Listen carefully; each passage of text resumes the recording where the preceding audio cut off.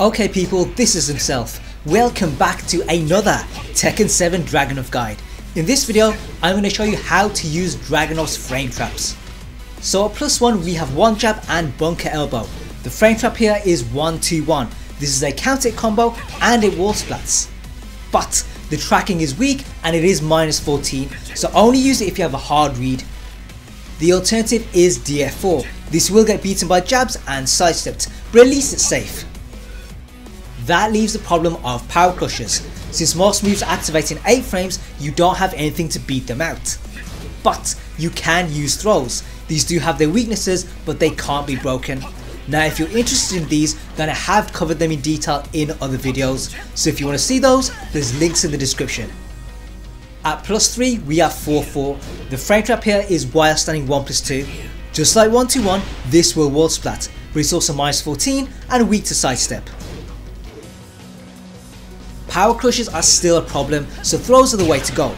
Cause you recover crouching, you have to forward dash, but you still beat them out. At plus 5 we have FF3. Now in the open, you get pushback. At the wall though, you don't. Because of that, the best frame trap is back plus 3. This is a tracking move and it wall splats. The only problem is it's a high, so to cover that, use DB21. This is weak to sidestep right, but covers everything else. The second hit is also minus 10, but you can hit confirm it. For power crushers, use 121. This is fast enough to beat them out, and since it's a count hit, you get a splat. At plus 6 we have running 2. Your frame trap here is DF2. This may be a launcher, but it's also minus 12, so do use it with caution. If you want to play safe, go for back 3 as I mentioned earlier, this is a safe tracking high. If you want to be riskier though, use back 4-3. This is a mid natural combo and it wall splats. The only problem is the second hit is high. As with FF3, your best option against power crushers is 1-2-1. You also have DF1-4. This is also a natural counter combo and safe. But the second hit can be ducked on block. Another move at plus 6 is back 1 plus 2. This is 22 frames so it is a bit slow.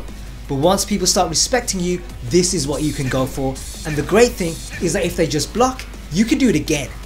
Now those are your plus frame moves, but you also have lows.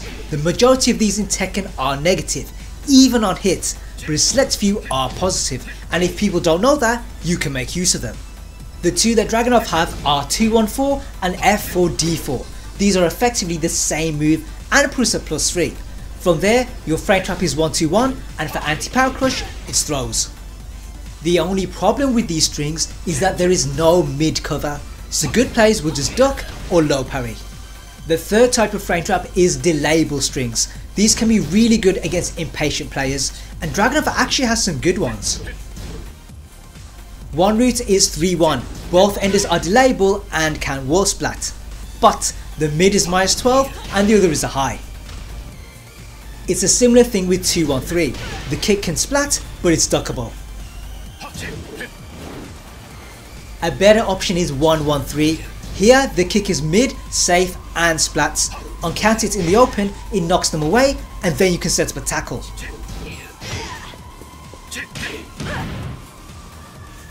You also have DF14. The second it can be delayed and it can splat. But as you've already seen, it's only a combo on count hit, and on hit, it can be ducked. A better option is F24. Here, the second hit is mid, safe, and splats. It also grants a combo on count hit.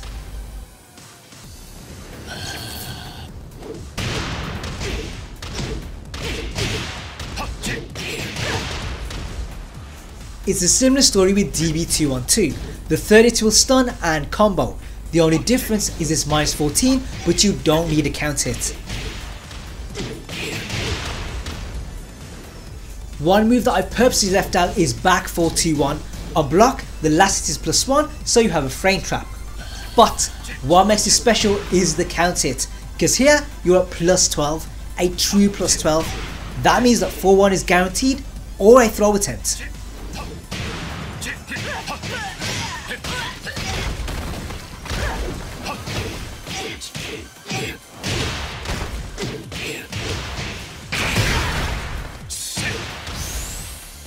The final type of frame trap is the reversal and Dragunov has numerous ways to set this up. But rather than covering it here, check out my video on it, that'll show you the properties and the OK. If you've already seen that, then check out my video on command throws. These are in the description and will teach you everything you need to know. If you've already seen those, then make sure you give this video a like and don't forget to subscribe.